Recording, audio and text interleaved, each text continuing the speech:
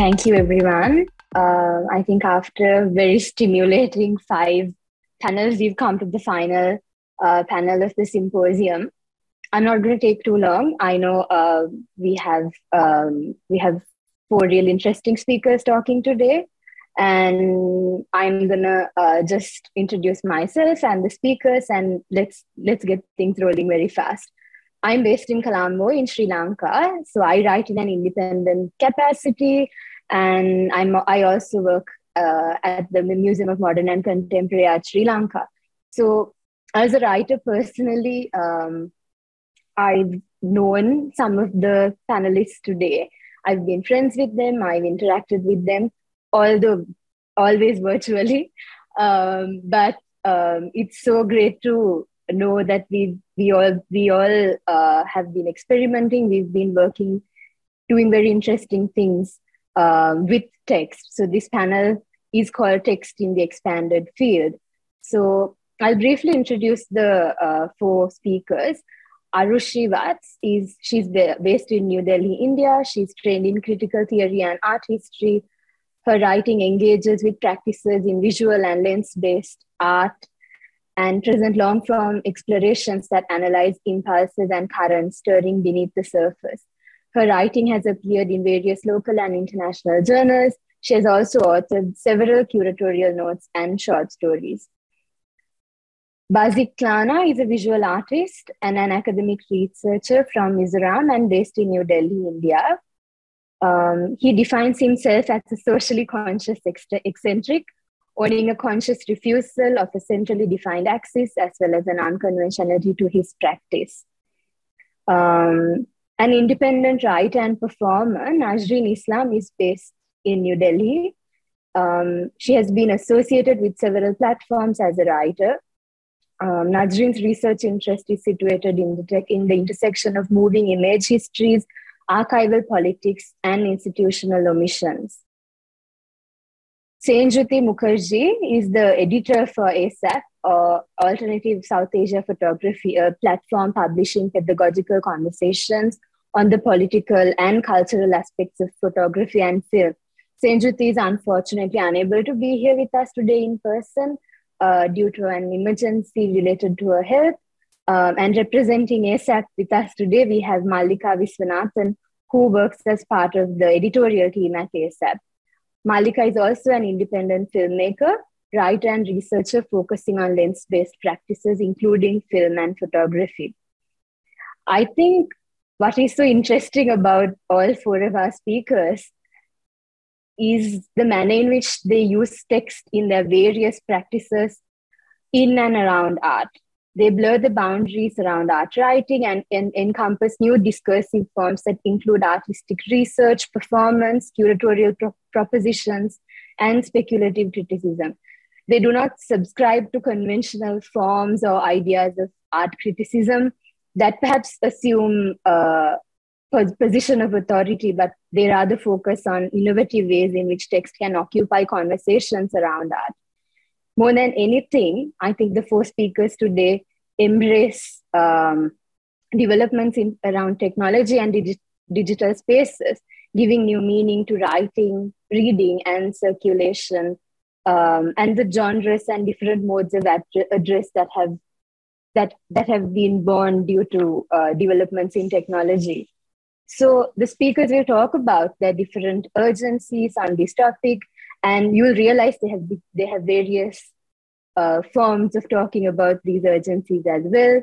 Some will be manifestos, some will be conventional uh, slideshow presentations, but also they will also, they will talk about their work in a very engaging manner. So the panel will have short 10 minute presentations by each speaker, and then we will move on to a conversation and Q&A session with everyone. We will also take questions from the audience. So if you have any questions, please leave them in the Q&A box. Thank you. Um, I also want to specially comment on the uh, on how resilient our speakers have been today, um, despite um, different emergencies that have occurred. They are here and their platforms are represented. I particularly want to thank everyone for that. So I'll first uh, I think, invite Arushi to speak.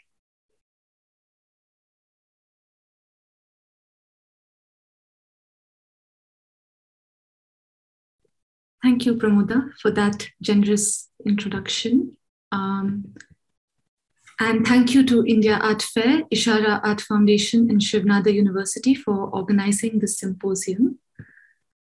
I would like to take this opportunity to discuss not specific works or projects I've worked on, most of which are available in the public domain, but to use this as a space for stock taking and introspection. If writing on the arts is to be more than midwifery in the birthing of meanings, what is the role of the art writer? I share with you today what writing has been and can be for me and for us. My presentation is in the form of a five point manifesto titled Drops of Sun. I've shared a link to a Google Doc draft uh, in the chat box, which, from which I'll be reading out.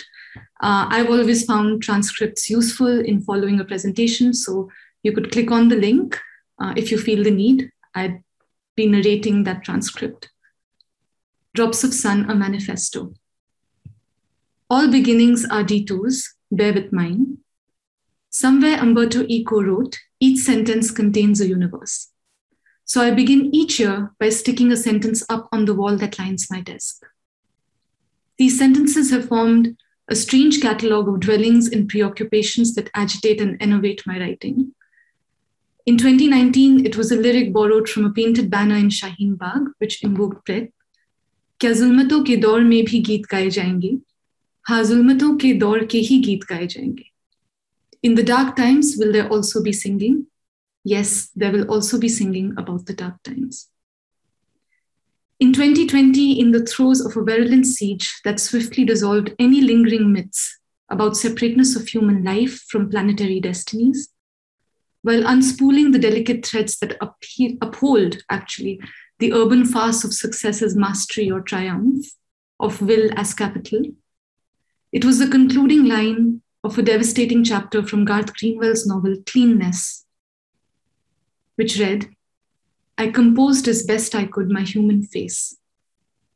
I repeated the sentence to myself as the gaps between deep emotional anguish and turgid professionalism grew narrow, and intermittent collective crises were straddled with Zoom meetings and calendar invites. Today, too, I join you with this human face and human voice. This year, the sentence on my wall is Aimé Césaire's We've been branded by Cartesian philosophy.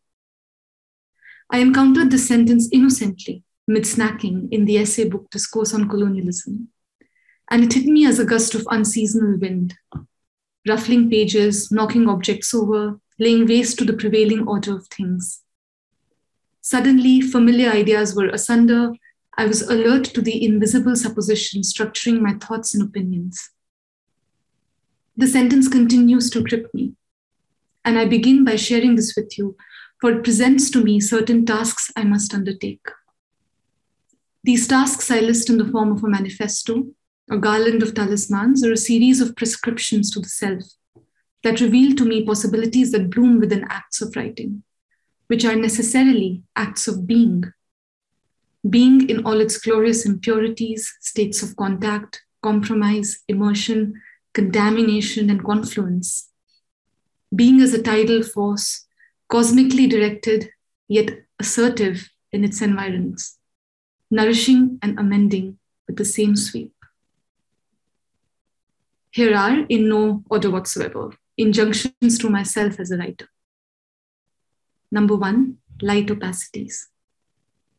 To illuminate persistently the sedimentation of normative tendencies and beliefs in oneself, to investigate how these may flow into sentences that form on the page, to fade every layer that conceals the scaffolding of privilege and prejudice, and to excavate traces of pasts that are forgotten.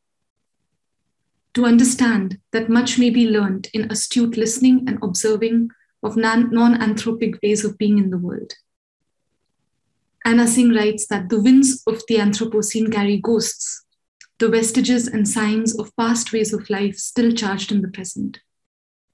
Through writing, to convene with spirits and gods. to become a prism that absorbs the given and the present, and in turn, through the transmogrifying force of refraction, summons the otherworldly, the unwieldy, the impossible.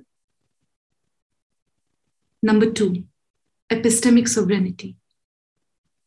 To refuse all frameworks that contravene the wisdom that we must be drops of sun under the earth, as Fanon describes blackness, and which I extend to the colored body that holds cosmic effluvia as, and is in total effusion with the world.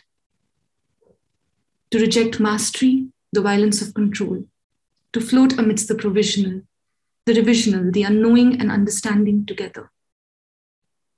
To follow Astrida Neimanis's dictum, which implores us to figure selves as blood and water or bodies of water, not only rejects a human separation from nature out there, it also talks many of our accepted cartographies of space, time, and species, and implicates a specifically watery movement of difference and repetition. To see all bodies, sites, matter as porous, with the capacity to leak, to discharge, to get slippery and wet in the lexicon of Diphnisia. To permit oneself, through the acts of writing, moments of submergence and surfacing, to be drenched in the opera of deep time, to ask oneself with each stanza, each sentence, as Robert Macfarlane does, are we being responsible ancestors? Number three, deltaic imagination. To deploy narrative as a blade that can rip the limits of the archive, that can rest with what the archive fails to generate. Or as Saidiya Hartman asks in Venus in Two Acts, how might it be possible to generate a different set of descriptions from the archive? To imagine what could have been. And further, to use critical fabulation as a practice to jeopardize the status of the event, to displace the received or authorized account, to write with and against the archive, to stir methodologies into potent spirits, to drink from the cups of historiography and narratology, from literary analysis and critical studies, from biographies and inherited stories, from oral and choral epistemes, from folklore and embodied almanacs, from biotic abiotic assemblages. Four, lyrical valencies. To ask, why not music? Why not poetry as a register for lived witnessing, for quotidian equity? The lyrical tradition of poetry and song honors the elemental composition of the body, the mingling of breath, air, and energy to produce distinct sounds and inflect live meanings. As Yogesh Maitreya writes, melody is constructed through historical fact, and music is a medium to pursue a life of the mind, emancipating singers and listeners from social constructs. So, why not metaphor, anecdote, recitation? Why not laughter? Why not joyous militancy at friendship fraternity? Why not anger and rage at injustice? To be tempered or to disrupt with equal care. To permit one's heart and pen both. Just as Naomi Shihab Nye laments, where can the crying heart graze? Just as she believes not everything is lost. Five, inventing elsewhere. To remember, in the words of Paul Preciado, that liberty is a tunnel that must be dug by hands. Freedom is a way out. To report and respond to such acts of digging underway all around us. To join with the very hands that write the efforts of making such tunnels. To foster, in the vein of Gramsci, pessimism of the intellect, optimism of the will. To recount Preciado's inventory. By freedom, we mean the ability to go out, to perceive a horizon, to build a project, to experience, if only for a fleeting instance, the radical community of all life, all energy, all matter, beyond the taxonomic hierarchies invented by human history. To write as taking a step towards this freedom. To thank you, dear listener, for bringing yourself, your histories and futures, songs and dreams into this moment that we inhabit together to never erase you or silence you or forget that you're here. I dedicate to you an epithet Carl Sagan wrote for his wife Annie. In the vastness of space and the immensity of time, it is my joy to share a planet and an epoch with you. And this is why I write. Thank you. Thank you so much, Arushi. I think, as always, I am so moved by how poetic your words are. Um, I am now going to hand over to Thlana. Thank you, Pramodha, and also to Sabi, uh, the Ishara Art Foundation, India Art Fair, and Shiv Nadar University for having me uh, in this symposium. So, um, I might not be as poetic as Arushi. Um, I will be briefly speaking about how I approach writing and my processes, which takes many different forms and styles, uh, informed by my own artistic practices and academic research, my multi-locations and positions, uh, so on and so forth. A lot of this has to do with the fact that I identify myself as a multidisciplinary practitioner that is interested in a variety of questions writing came about in my practice for a need to articulate and formulate my thought processes in my practice. But uh, rather than being merely a means for articulation and mediation and render them legible, they've become so much more in ways that uh, they become a part of the work or the work in itself. This comes about as forms of small publications in the form of zines, artist books, and blog posts. Uh, many of my works is informed by research and writing and they often become part of an exhibition as well. And uh, especially when it comes to my artistic practice, the borderline between writing or text and visual is blurred as I do employ text not as text in a traditional sense, but as object or as signs and symbols. I guess one of the driving factors to this exploration is the fact that I do write in my native language, apart from writing in English, which is Mizo.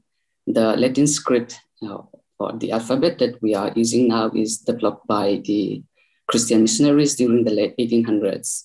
Uh, colonial expansion in Mizoram and other Northeast states uh, is mostly experienced as the advent of Christianity, uh, with it, the introduction of education and medicine, and also uh, art as we uh, came to define it now. This became a sophisticated marker of modernity. Um, a more interesting take on this is the writing system that is highly incompatible with the Mizo language in terms of grammar and tonal variation. So in a way, I actively try to bring in this writing system as a post-colonial inquiry and help question about systems that are rigid, where one is consumed to complacency. On the one hand, uh, well, incompat incompatibility is frustratingly a problem around translation, it also turns out to be uh, quite fruitful in so many ways when one is not uh, merely reduced to its shortcomings. Writing about or writing as my own creative practice, of course, branches out to other forms of writing. My research primarily focuses on art and artists from Northeast. Um, here, my positioning is critical to questions around representation, not so much as a burden due to the lack of discourses and infrastructures and institutions, fundings, etc. in the region. I am deeply interested in the uh, notion of abstraction to argue for the multiplicities and complexities when one assume or repudiate this collective identity that is the Northeast. I am not merely interested in the ontological and long debated philosophical abstraction or the notion that abstraction in cognitive psychology as a capacity for abstract thinking that lends itself to the highest level of intellectual operation as opposed to the notion of the particular that stands for an inability to grasp things in its totality, uh, but more to question abstraction as the often witnessed willful ignorance and misrepresentation that has led to a series of conjectures and stereotypes which ended up creating a notion of the other. So um, necessarily in writing about the Northeast, its context and uh, different positionings, it is important to assume as a writer uh, the position of a cultural insider, though the question, uh, through the question of uh, agency as an implied abstraction, acknowledging the long history of being subject of an ethnographic gaze, uh, but also to assume different other vantage points. Again, uh, this is a mode of abstraction, which is very crucial in my engagement of writing. Um, this has been uh, one of the biggest challenges uh, with scarcity of literature. Uh, how does one engage with text on a region so that it doesn't posit itself as a sole agent or being authoritative? On the one hand, the urgency I find myself, as Lucy Lippard in her article Mapping puts it, is that most of the artists from the subaltern are brainwashed by the notion that art speaks for itself and have been silenced, uh, abdicating responsibility, doing little to resist the decontextualization of their works and thus themselves. This is perhaps my constant reminder to engage in writing practices to arch for discourses and expand context and processes of uh, art making. Not so much to an engagement towards um, decontextualization or recontextualization, but also to understand ways in which they open up new possibilities of engagement in these courses, or perhaps an instantiation to understand our conditionings and uh, new modes of knowledge production. On the other hand, it is also notoriously difficult not to dwell on a certain lack. There is an urgency for documentation and creating uh, repositories for active discursive engagements that are accessible uh, both in language and platforms in which these texts are published. Short writings as a form of social media posts, uh, stories, and blog uh, publications has been a handy platform in these situations. And um, on that note, I am extremely excited about many of the new initiatives that are born out from the region that share the same urgencies. Um, examples like the Northeast Art Initiatives, uh, Northeast Lightbox, GAP, to name a few, that are actively engaging with talks, publications, and other modes of engagements. And I'm also very pleased to be a part of these uh, engagements in some of uh, their initiatives in the past, and many more such interesting endeavors are brewing in the near future as well. So, um, since this talk is structured around text in the expanded field, um, I can't help but think about the multiplicities in which the definitions and practices of art and writing becomes blurred and constantly redefined. What is interesting, at least for me in my engagement towards the Northeast, is in the question of representation as a perennially relevant topic that confronts with difficult and challenging question on how to best make a case for the field studied. Instead of relying on generalizing categories and existing nomenclatures, writing in the expanded field has allowed for the possibilities of engagement with uh, individual subjectivities that extricates one from that very burden. It is also crucial such that it resists essentialization and the burden of how best to make a racial or ethnic political stand. Um, perhaps one is also freed from the burden and politics of translation and writing in vernacular language that detests such uh, rigid categories. Uh, I'll just give just one example. Uh, in the Mizo culture, it is notoriously difficult to substitute the word art and what it entails, what it includes and exclude. What about the existing terminologies and classifications that is not compatible with certain cultural art practices?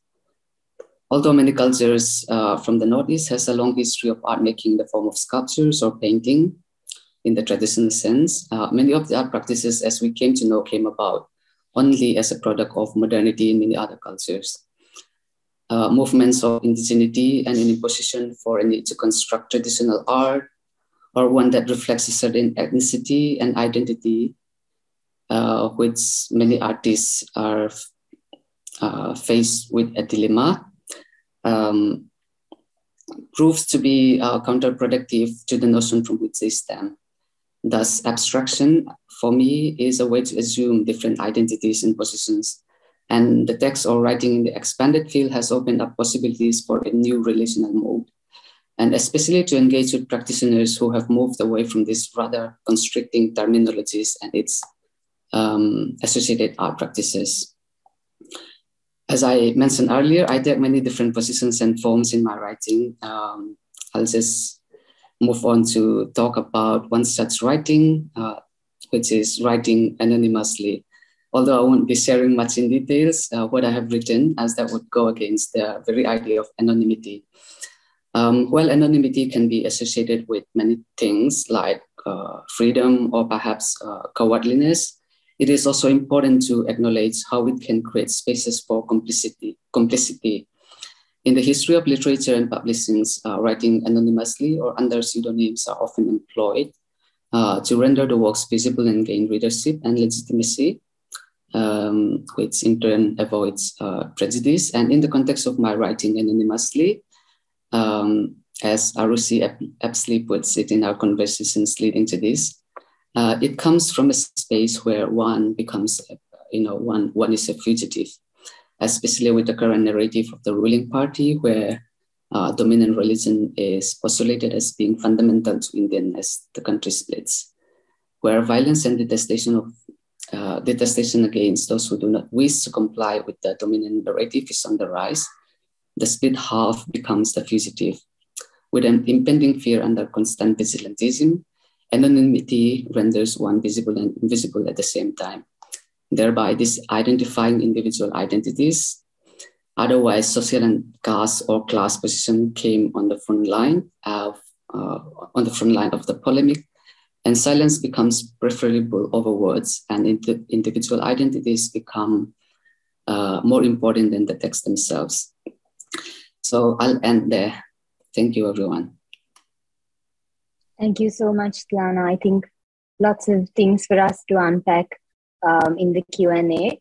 Um, the next uh, presentation is by Najrin. Um, unfortunately, she's not feeling so well. She has asked me to read her presentation on her behalf, and these are her words. Najrin, you. Um,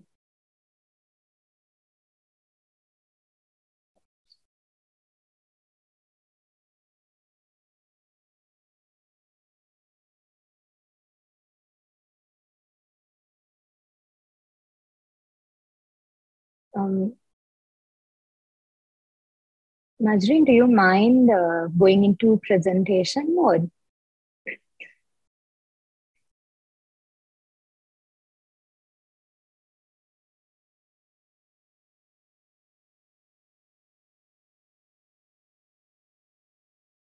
It's okay, I'll start reading. Um, as a writer, I engage not only in independent criticism and reflection, but also commission writing for artists and galleries. Oscillating between institutional mandates and subjective reflection, I function from a space of speculation as I attempt to delineate the devices through which we view, understand, or look at art. It is important to mention here that a lot of my writing is informed by my performance practice and the malleable language of the body that it entails. As the fulcrum to my understanding of the world, I find that the body rejects any rigidity of thought and even encourages a radical dissolution into molecules if needed. It is a constant process of building and rebuilding and sets no expectations with regard to lineage. My writing takes trajectories in tandem with this re- impulse. This impulse further ties up with my long-standing interest in the archive and a keen interest in how archive could function as a medium of mobilization for the performative body. Informed by interdisciplinary intersections, my research interest includes in its purview the ontology of the image, image histories, archival politics, and institutional omissions. I'm drawn towards the performative potential of the image as it manifests through the slippage between fact and fiction. This gap between fact and fiction is what interests me. The, that interstitial space of illegibility, illegibility that takes away the archive status as, a, as absolute objective truth.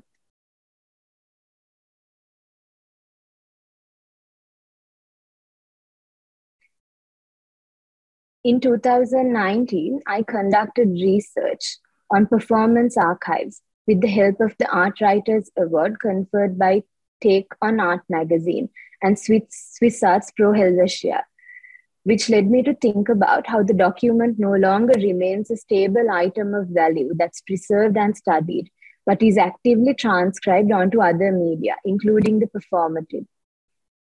This leads one to think about how the document can be used as what Diana Taylor calls a repertoire that is invisible, that is invisible imprints and trails that endure through memory, a system of visual and oral signs.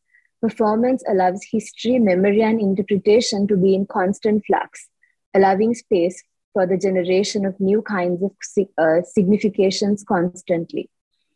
As part of my research recorded in this monograph, I focused on performance pieces that used documentary materials from an event in history, which in turn became an experiential record of the concerned history that then comfortably cohabited with public memory as a mode of transmission. In continuation of my interest in the mobilization of archives as well as my own performance practice, I crafted a performance piece earlier this year titled What's in a Name under the aegis of Reframe Institute of Art and Expression. Combining personal experience and narrative fiction, the performance, which was recorded on video and disseminated through an online showcase, revolves around the protagonist's Muslim identity and the delicate complications arising from the dual need to preserve and assimilate. A little summary of the piece. The assimilation by non normative or minoritized bodies causes very specific erasures of faith because survival and invisibility go hand in hand. In the search for an anchor, I looked at the people around me, the space I was then inhabiting, my parents' home in Calcutta, the spaces, the objects that surrounded me or that I grew up with, and the memories preserved away in old fashioned albums as fodder for the script. Written as, as a monologue, it deals with the protagonist's entrenched fear of hellfire on having deviated from normative expectations as a Muslim woman. Through meandering trajectories of thought, the character arrives at an understanding of her person and the choices she has exercised, while a series of childhood memories parallel to the fear of hell permeates the frames using the room the writer has spent most of the pandemic period in as staging ground for the protagonist's reflections. The, pre- the piece explores her attempting to navigate dom- dominant spaces that are not designed to accommodate her. In a conscious departure from representations of Muslim women that conform to or border on, on the stereotype, the story is centered on the character in all her inconsistencies, dilemmas, rage, and failures, as once taking a claim to space. Making use of the literary form of the monologue, the script follows accounts of discrimination, humor, and idiosyncrasies as they exist in the fringe realm of rumor, gossip, whispers, and informal circles of expression. It is where the bigger complications of imprisonment, citizenship debates, and threat of annihilation issue in the history, memory, and agency of the singular knowing body that generates and stores information for recall, retrieval, and reenactment. Using this premise of the sentient body, the performance video explores the archival impulse of personal memories as they congeal in the form of an informal address. Here is a small uh, expert from the script. Do you see this portrait? They are my parents from the time they were married. They look so young and handsome, yet quite stoic, don't you think? Like our parents do in, our, in old studio photographs, it's actually an enlarged version of an original. It was small and black and white, so it was colorized when it was enlarged as well, which reminds me, the colorist in the studio had made an assumption. He took the liberty of placing a dash of red in my mother's hair parting, which was absent in the original. Mother was quite amused at the vermilion and the error is now a story for laughs. In this section, I made use of, uh, continuing the presentation. In this section, I made use of said portrait that has always hung on the living room of our house in Kolkata, bearing a queer history that was only occasionally joke, joked about to comment on casual instance of erasure.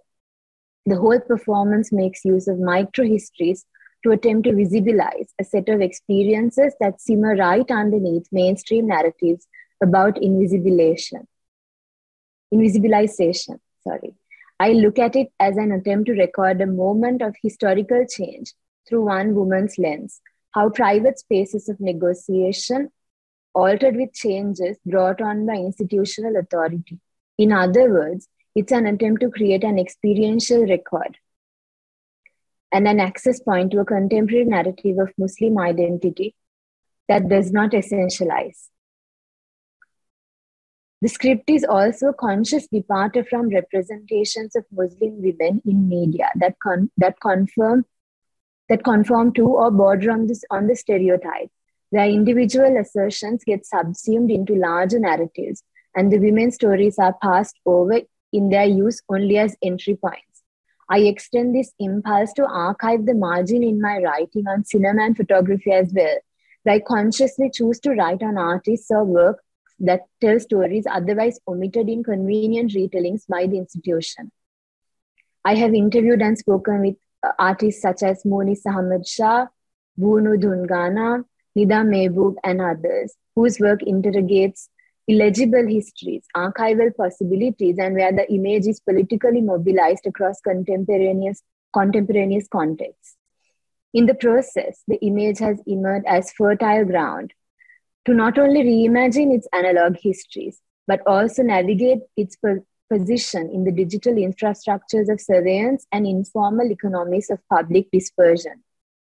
I have pursued this impulse in the capacity of a writer for Alternative South Asia Photography or ASAP Art, an editorially driven mobile application and website that covers lens based practices across South Asia. Another of my definitive experiences with regard to art writing has been the 5 Million Incidents Project, organized by the Goethe Institute and Max Mueller Bhavan and curated by Raqs Media Collective. Designed as a year long series of events on the premises, the varying timelines of their manifestation and the density of their occupation, documenting an undertaking of the magnitude of 5 million incidents was unnerving at first. While some projects took months to gain momentum, direction, or clarity, others assumed short term records and resolutions. I had to mold my body and attention accordingly, speaking with the actants at the pace of their projects, often revisiting them, them at a later stage to gain insta- insight into their processes. My reflections went up on a blog titled Plural Futures. I cannot remember a beginning, a middle, or an end to my participation in the reportage. It is actually less reportage and more reflection on the projects and, the, and their many entanglements across thematic and temporal registers. I have been a passive observer and active participant, moderator, as well as audience to the incidents.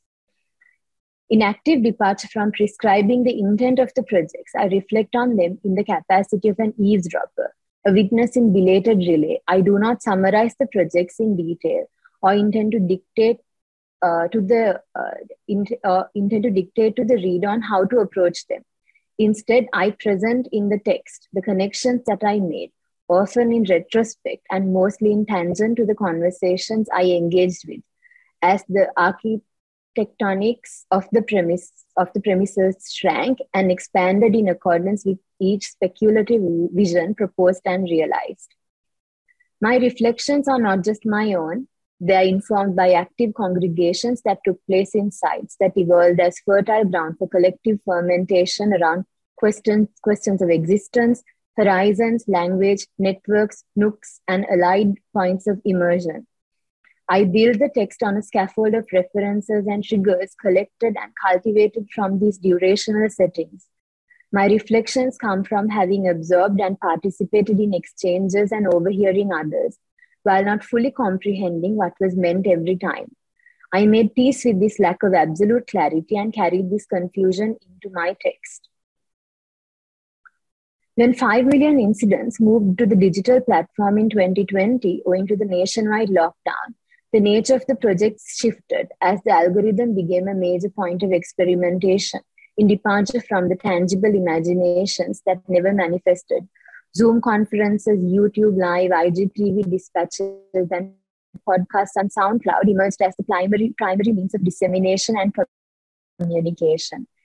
Geographic interiorities in the digital, such as chores and living rooms, reformulated the idea of space, tapping on the new pockets of interaction enabled by this shift. Documenting and reflecting on this swift passage of incidents called for a different order of attunement as my physical body dissipated into fluid habitats across windows and tabs. This is where I engaged with artists working in the digital realm, ranging from artificial intelligence and biometric surveillance to application based flânery, many of whom have already spoken as part of this symposium. Through my writing, I attempted to address the general impulse towards the digital territory and the involving symbiosis of the field of fields between poetry and coding, architecture and gaming, etc. I consequently drove into these emerging and emergent vocabularies of the mediatic and the spectral.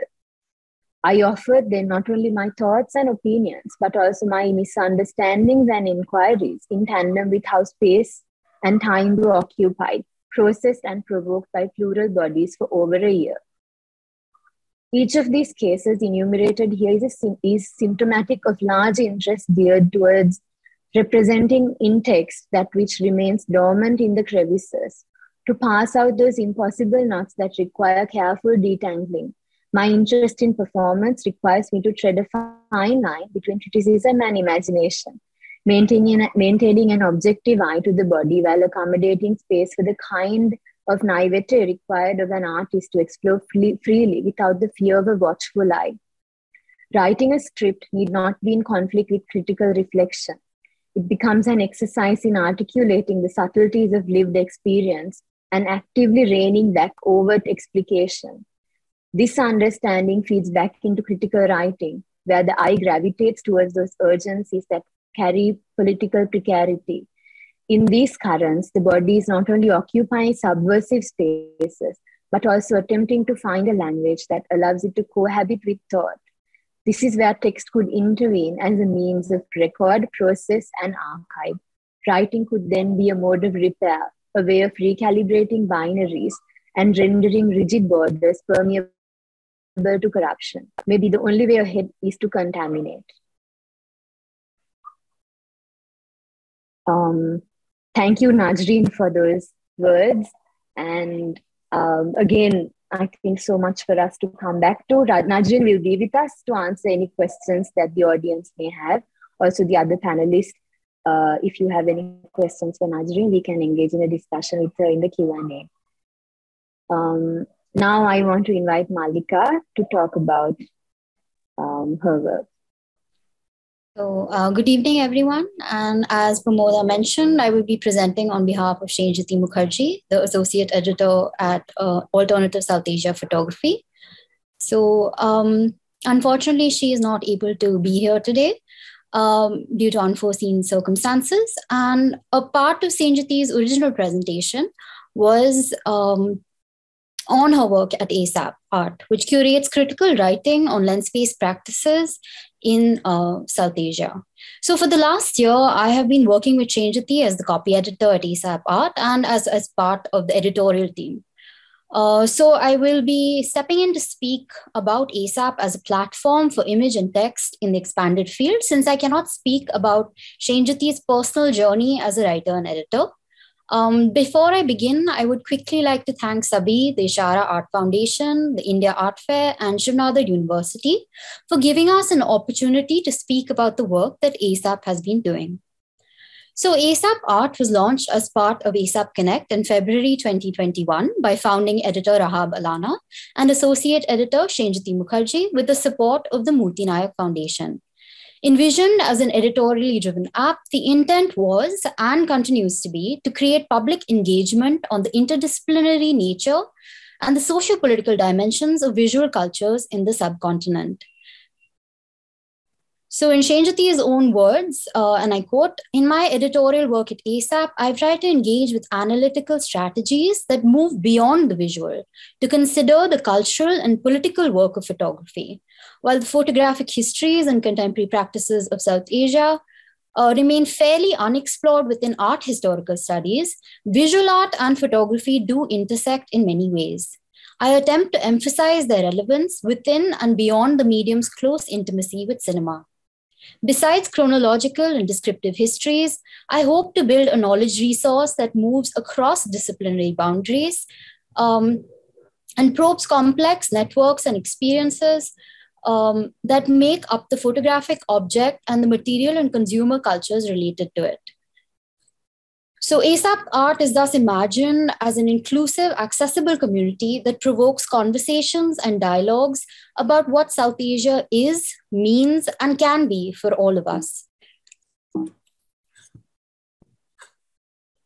So um, since the we have a stipulated time for the presentation, I will simply be introducing you to the platform and opening out the ways in which its various contributors have used text and image to engage with and reflect on the reality around us. So when we launched the app, uh, initially we hosted four lead categories of posts, which is stories, events, grants, albums. And then later we added podcasts as well. So these were created as a way to share information in a functional manner, driven by a user friendly interface. Um, and also represents the range of themes and formats that we have consistently been interacting with. So, stories mainly consist of short reflective articles about publications, archives, histories, and contemporary cultures of lens based art and media. Events comprises of reviews and considerations of current and past exhibitions, seminars, and festivals.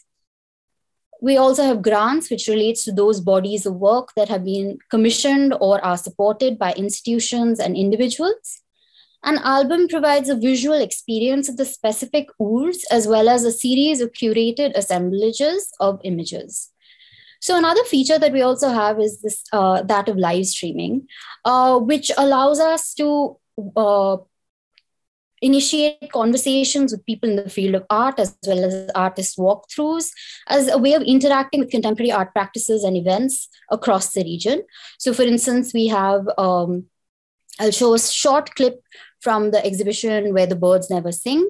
This is an image of the people like who are the teachers of Marichjhapi school it's a school made by the refugee uh, Bangladeshi like lower caste refugees. So I started looking for him and then finally found him in 2019 in a remote island in Madhya Pradesh, uh, Malkangiri district. So the idea is really to uh, create dialogues and conversations. And as short read articles that are delivered on a daily basis, ASAP affords a way for art and thinking about art to enter the space of the everyday. So within six months of uh, the app going live, we launched our affiliated website on World Photography Day. And this has essentially been imagined as an archive with all of our posts being available uh, over here. So you get a sense of the kind of different stories, events, and uh, context that our writers are exploring.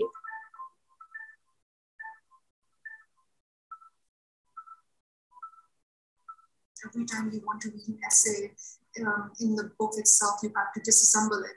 You have to open it up, and then there are seven parts, and then you have to assemble it back again.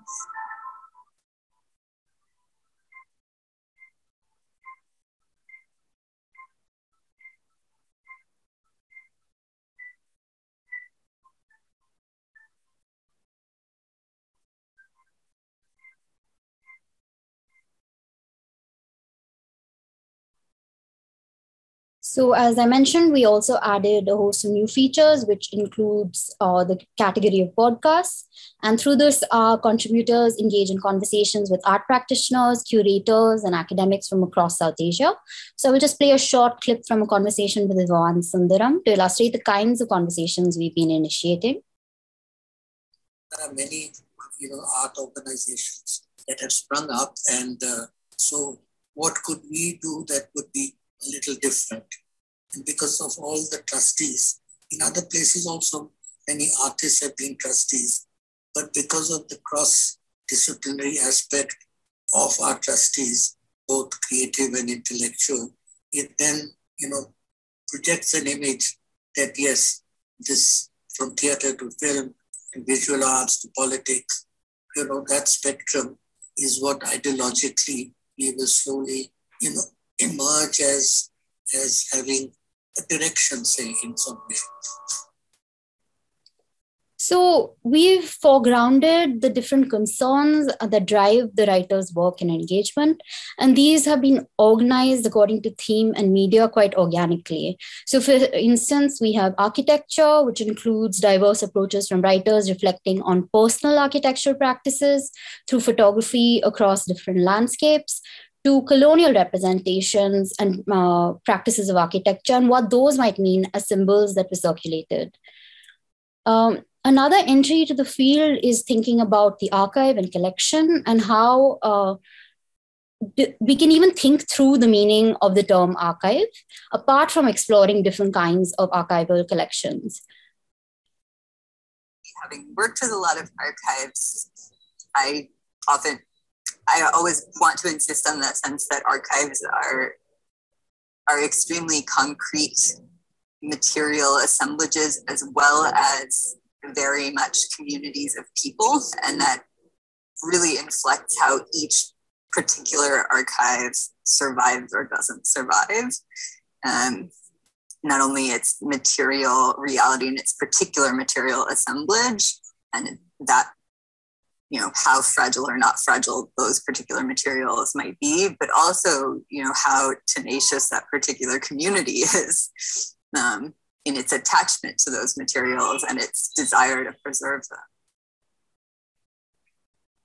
Having worked so another urgency is that of ecology, where our writers have looked at the ways in which image makers have been addressing questions of sustainability and reflecting on the relationship between living organisms and their physical environment. Um, we also have writers who foreground questions of representation, performativity with regard to gender in both contemporary practices and uh, histories of image making. Um, the platform also excavates the often invisibilized histories of work and labor and explores questions of livelihood as well. Another thematic concern that has emerged is that of personal narratives, which focuses on how artists communicate their personal relationship to the world through their ways of seeing. And some of the essays and interviews also reflect on vernacular photographic practices and the personal archives of amateur photographers unraveling lost histories. Resistance is also something that has emerged as an ethical concern and brings to the fore modes of culture, uh, modes and cultures of protest, seeking a subversion of dominant narratives. Uh, we also have uh, speculative fiction, which collates visions of imagined futures as artists deploy fiction as a tool to speak about the present, as well as reclaim uh, histories and space. And I'll just play a short clip about the kinds of conversations that we've been having gives us tangible outcomes, I think, whereas science fiction always pushes us to imagine further. Indigeneity and science fiction was always with me, but it's only in recent four or five years I've been able to uh, merge uh, those two into my practice under this framework uh, I call Adivasi futurism. Gives us tangible so all of these are often interrelated and i think that's what is also so exciting about this platform is because it it is through these linkages that new constellations of meaning and dialogues around these concerns can emerge. So these represent broadly the parameters of our research led engagement with both archival and contemporary practices across various mediums. So media forms and medium specificity then becomes another way of entering this platform and interacting with it.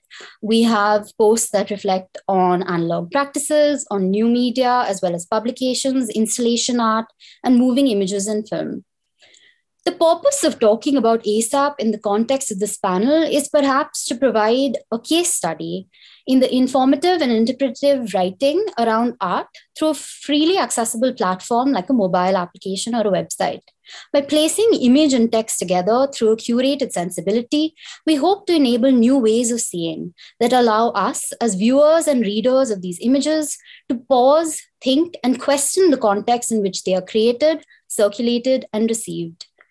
Um, so we currently have almost 300 posts, and the hope is to continue to build and expand ASAP, not only in terms of its participation base, but also work towards a multilingual platform.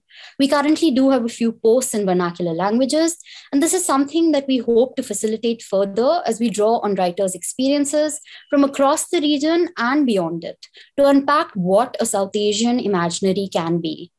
So before I end, I would quickly, uh, I will also be adding the link to the app in the chat box for those of you who would like to download it.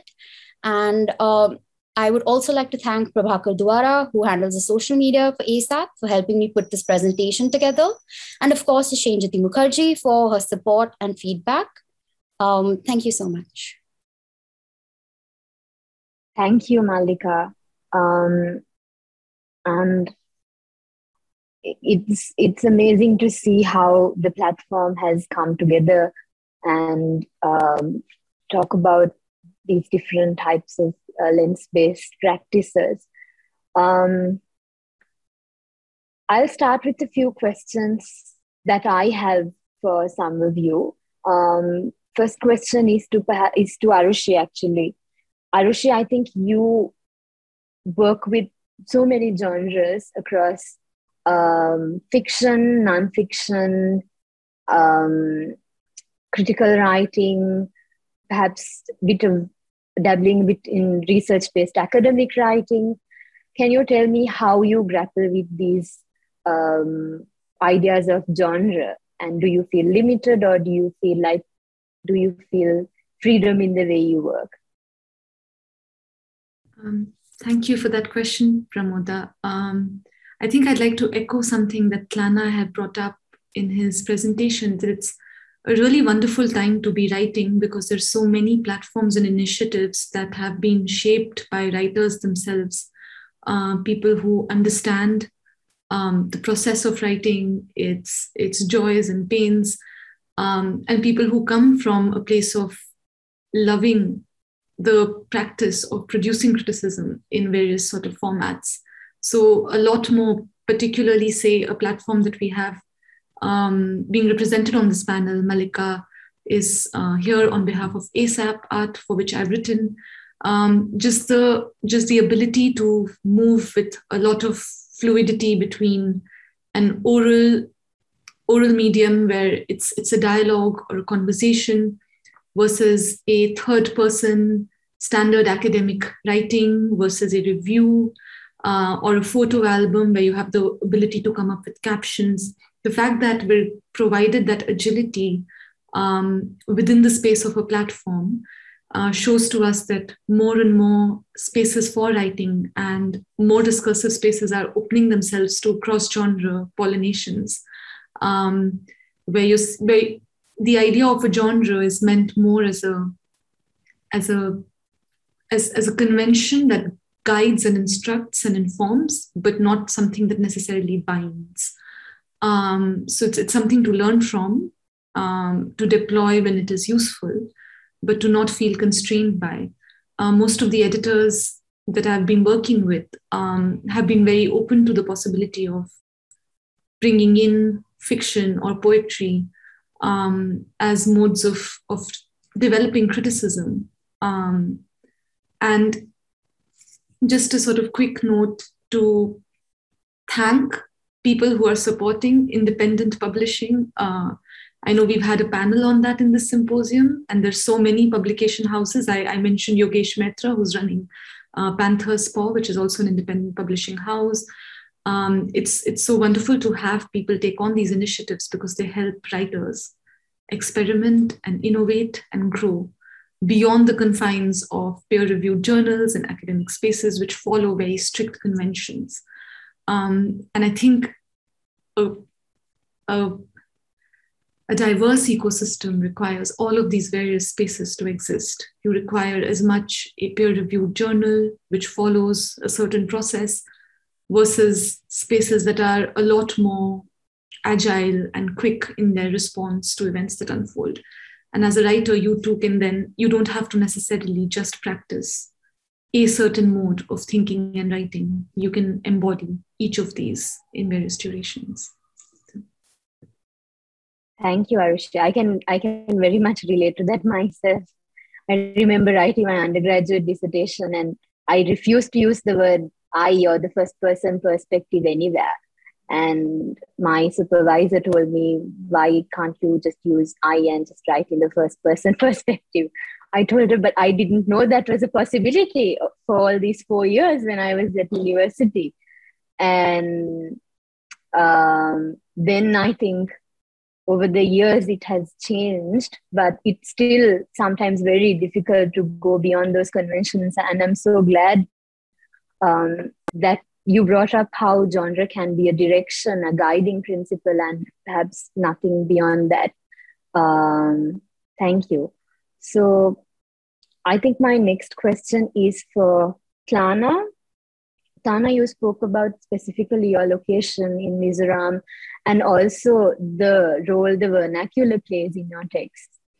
Can you tell us a little bit about um, vernacular and um, you also explained struggles about about lacking vocabularies, lacking uh, terminology, perhaps. Can you tell us a little bit about how you overcome these challenges when you write?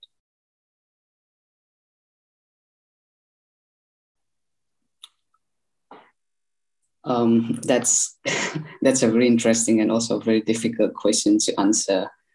Um, I think um, instead of you know I mean, it's not so much more on overcoming, but also to find alternate ways of, you know, dealing with the difficulty of translation. Um, and again, um, especially in the context of uh, Mizoram and Northeast, I think uh, uh, what is really uh, difficult is also on the question of um, uh, language and how yeah, uh, existing terminologies uh, is not necessarily um, compatible with uh, languages uh, that are specific to a culture or a region. So uh, how does one um, write?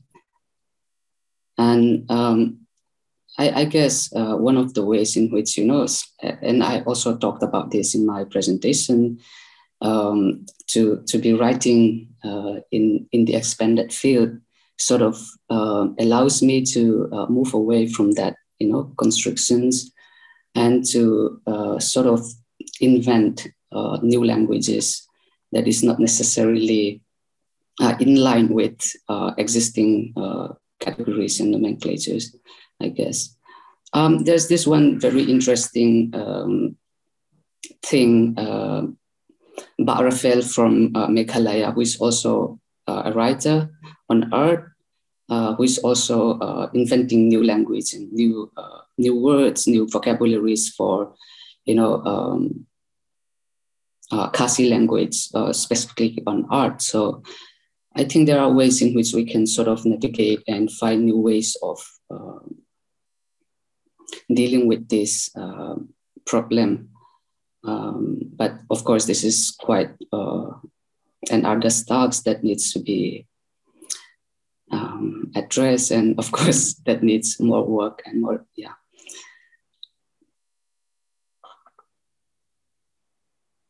Thank you, Thlana. Um, I think um, this is perhaps a problem a lot of us who write in vernacular languages constantly face, um, especially in the in languages i mean even in sinhala in sri lanka we constantly face this problem where we had to come up with new terminology. And it's also very difficult because we don't have um, it's it's difficult to have it, that means we have to start conversations and build discourses um, because words can't just be invented.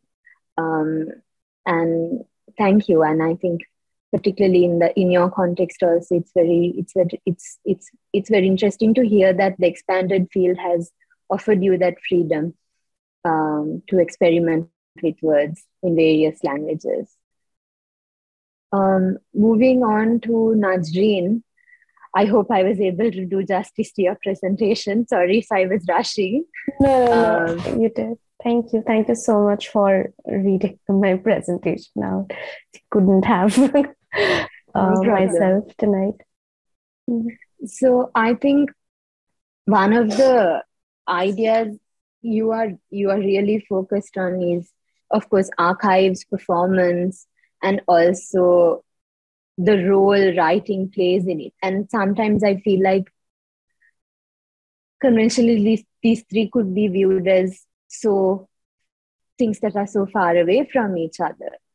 And how do you bring these things i think you explain how you be, how you bring these these three things together in your presentation.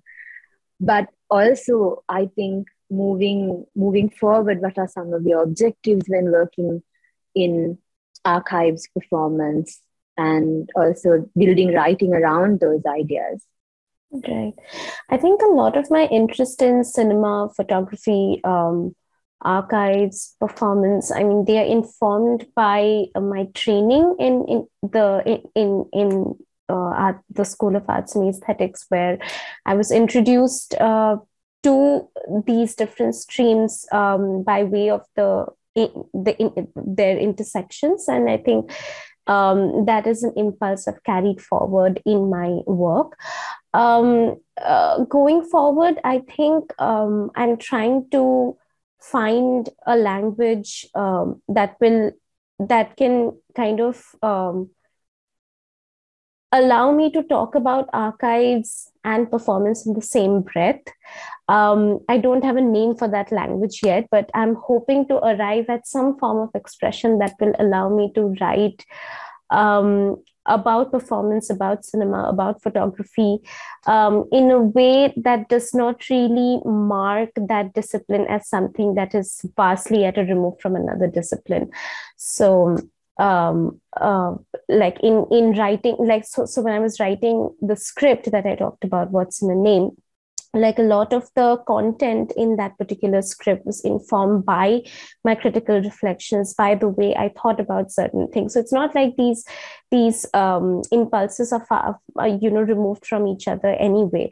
I think it, it's it's a matter of arriving at a certain um, language that uh, will help me to like cohabit these spaces um, without worrying about whether um, i'm straying too far away um, from my original impulse. So I think that's still there, there's a lot of work to be done there still, but I'm hoping that my interest in performance practice, my interest in archives, uh, do can can coexist on the same plane at some um, someday because i think um, my interests are quite um, interdisciplinary and, uh, and i think i would like that like it to remain that way I don't think I can I can really float on one particular discipline. I think I need to be in like living in that intersection in order to be able to uh, cultivate my interest uh, in performance artists. Yeah, I think many of us can relate to that where our interests are so vast and so exciting and we want to inhabit interdisciplinary spaces and I think Arushi, you had a question for Mallika in particular about um, some of the labor that is invisibilized in the process of maintaining a platform, editing. Um, yeah. Yeah, Pramodha, I thank you for bringing that up because I'm so glad that Mallika mentioned the team uh, behind ASAP um, and to just sort of talk about. I think we have a question in the Q and A box as well, which is on which does have to do with how we um, uh, with the question of writing as labor, as as a job, as something that must uh, support livelihood and generate livelihood for writers.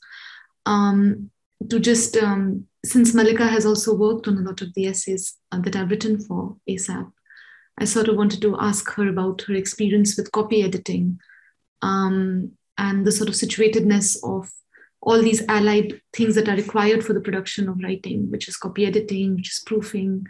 Um, in the case of web platforms, uploading and sort of um, its digital production in the form of a web page. Um, so that was something that I was curious to hear Mallika's thoughts on. Uh, thank you, Arushi and Pramodha. And uh, thank you for also bringing this question of the invisibilization of labor up. And I'd like to take that uh, as an opportunity to again shout out to the team at ASAP, which is Senjuti and Rahaab as the associate editor and founding editor, respectively, and Gulmeher, who handles the backend, as well as Prabhakar, who handles the social media, and Rajneesh, who uh, handles the website and the design of the platform.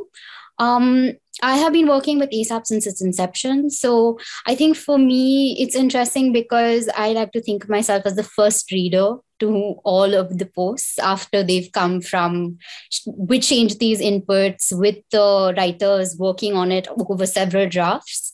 So i think there's a certain pride in looking at the way in which all of us contribute in whatever small way to the final product. And of course, I mean, the fact that I am also able to speak at this platform today shows the support that I do receive from ASAP and from Senjuti, especially as um, the copy editor and as a person whose voice is being heard um, in such a place. And I think with any collaborative um, medium, there is a way in which, of course, um, different parts of the process may be invisibilized. But I think ultimately, if there is some recognition of that, uh, maybe that's a work or, or a work in progress or a step towards allowing for all labor to be recognized in this way. So thank you for that question. And I hope that we can continue to have these conversations. Definitely. Thank you, Mallika. Um, we also have a question in the uh, Q&A. If one of you can address it, I would be really happy. Um, as art writers, how do you get funding and ensure that it sustains your life and writing? I can see many of us smiling, but yeah, does anyone want to address that? Um, Um, I could go first if uh, I have a day job because unfortunately I don't believe writing assignments pay um, in a way that can support a life, um, any mode of living independently. Uh, so when you have expenses such as rent, uh, basic utilities that should be public but are private, um, including something as simple as clean air in the city where I live, uh, or purified municipal water. Um, these expenses add up. And unfortunately, writing assignments at the moment do not, across the board, compensate adequately to meet those uh, needs. Um, having said that, there are, of course, institutions that pay well, but um, writing can often be a slow and laborious process, especially long form essays, uh, pieces of critical writing, academic essays that go through a certain process, which can span a couple of months. Uh, publications, print publications, take a while. So, as a writer, uh, one of the things that I have done is always held a day job. Um, I know there are writers here on this panel who don't have day jobs or do full time writing independently. Uh, I've been very lucky in, uh, I work as an editorial manager at Serendipity Arts Foundation, and there has been a lot of support and camaraderie from my colleagues in terms of just their enthusiasm for my writing. Um, and there has been a lot of work life balance that allows one to pursue independent writing inquiries uh, but that is that is just currently the thing I, just to flag so far i haven't yet managed to make livelihood from writing that could support independent living um, and so that's that's certainly a, a, an area of concern thank you arushi maybe najrin as yes. someone who is doing independent writing yeah. Uh, I have been uh, writing in an independent capacity for the last two and a half years. Before that, I had a day job as well. But then I soon realized that um, I need a lot of time. Like Arushi mentioned, uh, writing can be a very laborious process and takes up a lot of your headspace as well. Uh, so, uh, um, working alongside pursuing writing did not really work for me so i had to let go of my job in order to concentrate on writing because that is something I really wanted to like very dedicatedly take on. Um, but that also meant that I was letting go of letting go of, of a certain degree of financial security. And um, when you start worrying about rent um, and and and other practical areas, it can also weigh down on you and take up a lot of your headspace, which you had originally demarcated for writing. So it's it, it, so these problems kind of feed feed back into each other.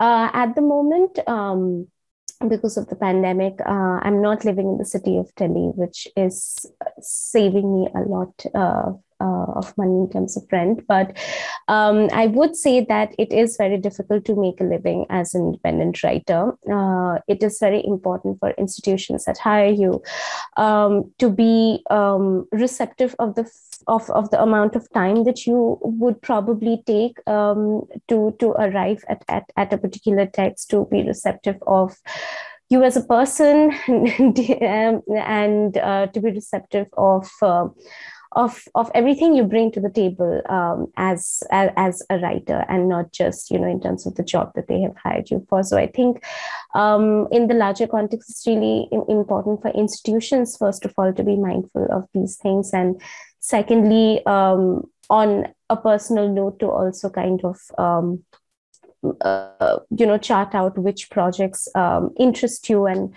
not to kind of um, take on more than you can probably handle because i have been at that stage where i took on a lot of writing projects and not necessarily only those that interested me and that can also drain you quite a bit because um, writing is ultimately at the end of the day a very personal um, process. And um, i think at this point i only take up those writing projects that really interest me. And i've been very fortunate to be uh, to have worked with a couple of institutions and editors who have been extremely helpful generous and um, um, have helped me navigate my own processes um, and uh, just generally made for really good company. Um, and I think that kind of um, solidarity and a sense of community in the writing uh, world is really important because as writers, you also tend to be you, you, like really like you work um, on your own time most mostly right? So as as writers it's also important to be part of communities like that. Um, uh, just to feel nurtured if not anything else. Um, and i've been really lucky to have had company like that um, over the last couple of years. Uh, but yeah i, I think um, the contingencies are all are still not completely in my favor. So I think as an independent writer, I have a lot more work to do here um, in figuring out what works for me and what doesn't. Um, and I think that, I'll, I mean, given the current situation, I think it just means um, looking for uh, the right bodies to work with. Thank you so much, Nazreen. I think it's the choices that we decide to make also on the way, the projects that we do, the time we spend, um, all of that. Um, thank you so much. I think I'm we are very much over time. Uh, so I'm going to hand over to Sabih for uh, concluding remarks for the symposium. Thank you so much.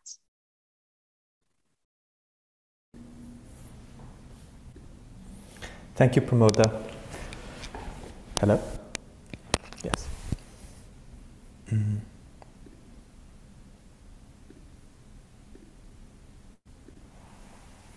Hello. Thank you, Pramodha. I have to say, the past two days have been extraordinarily rich and thoughtful, and the symposium somehow felt like a space where we witnessed such care among all the participants towards one another and towards each other's practices and thoughts. And at the same time, it also felt like an autopsy of art institutions. Um, Asma, in her closing remarks, put this aptly, pointing out that we may be seeing artists, curators, and writers redefining art, but the question also comes back to institutions and what artists expect from institutions.